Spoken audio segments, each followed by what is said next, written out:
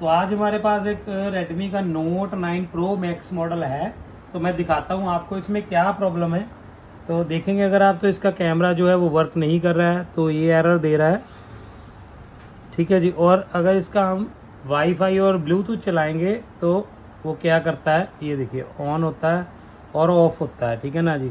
Wifi Bluetooth connected नहीं कर रहा है। ये देखिए ऑन हो गया तो ऑफ़ नहीं हो रहा है, ये देखिए। ठीक है जी? ऐसे ही ब्लूटूथ है ऑन होगा ऑफ़ नहीं होगा फ़ोन हैंग हो जाएगा। अगर आपके पास भी ऐसी कोई दिक्कत आती है तो मैं आपको बताऊँगा इसमें किस चीज़ की दिक्कत रहती है। तो चलिए करते हैं इसको रिपेयर